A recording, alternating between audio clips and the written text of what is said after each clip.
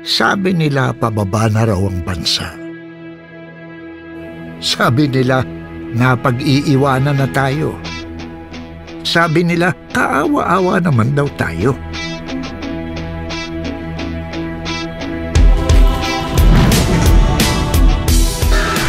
Ngunit kaya ba ng ingay ng kanilang sabi-sabi ang kitang-kitang pagbabago? Ang lakas ng ating kalooban.